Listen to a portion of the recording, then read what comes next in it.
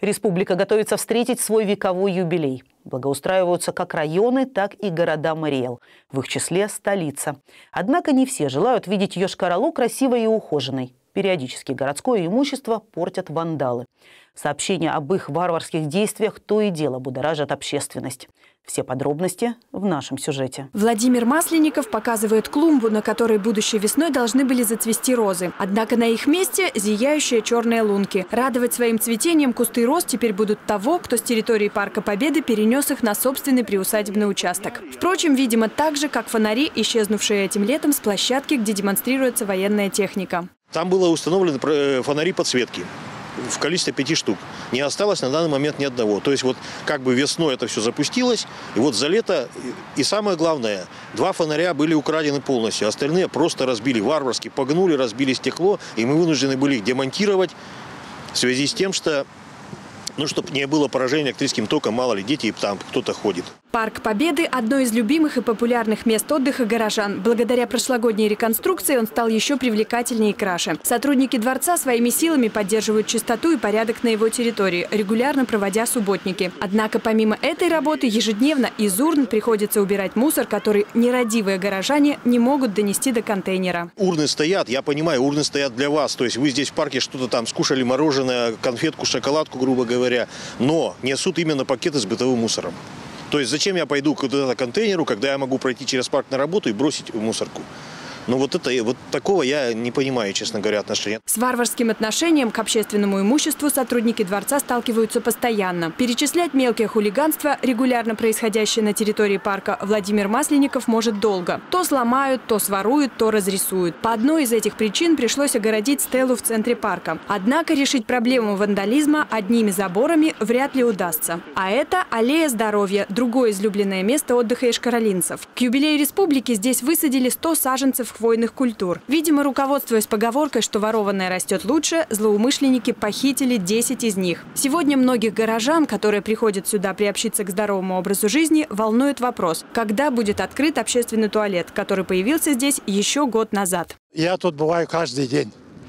Даже потом после обеда выходим с женой, э, прогуливаемся утром. Я полтора часа делаю ну, как зарядка называется. Как вы считаете, вот такой объект, как общественный туалет, нужен вообще здесь на аллее нужен. здоровья? Почему? Потому что люди ходят, гуляют очень много, э, пожилые, вот вдруг э, есть всякие же у пожилых захотели, мимо проходят, нет негде, куда в лес не побежишь, тут все открыто, все, люди ходят, и набережные люди ходят, рыбаки сидят.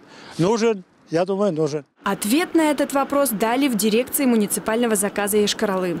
В настоящее время на этом объекте ведутся работы по устранению повреждений вандального характера.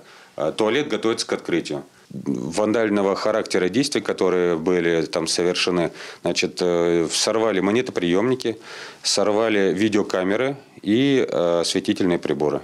Так как территория не была оснащена водопроводными канализационными сетями, были подведены все коммуникации не только для общественного туалета, но и на перспективу для других объектов, которые могут появиться на территории отдыха в микрорайоне Самбатхей.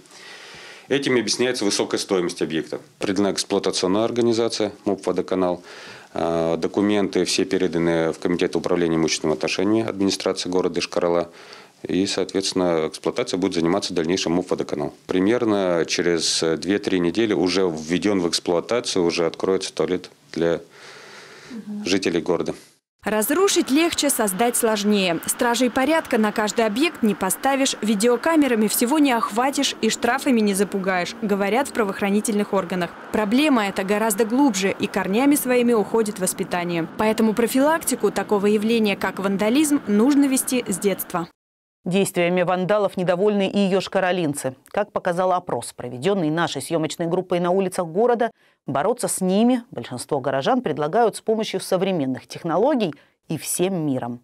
Наказывать сильно-сильно, очень сильно даже, чтобы не рушили нашу культуру и ну, прекрасную нашу жизнь, как говорится. Видеокамеры надо ставить.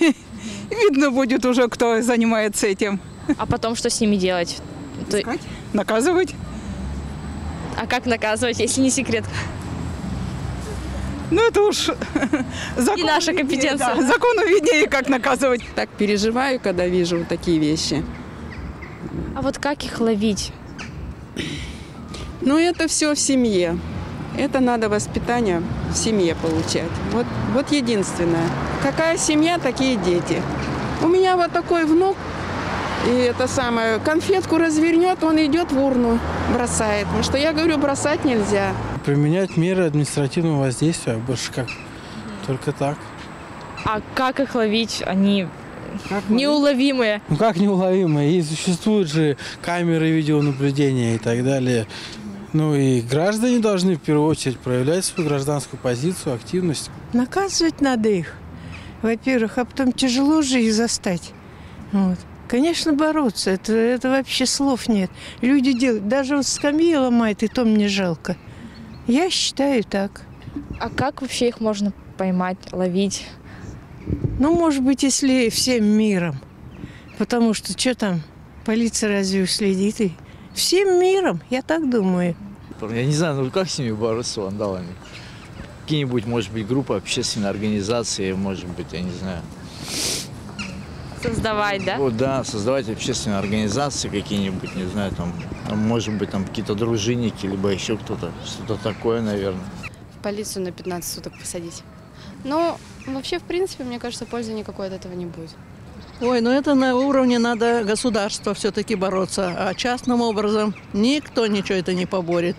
Нужно делать через всякие ведомства, МВД, ФСБ и все такое прочее, потому что это наш извечный враг.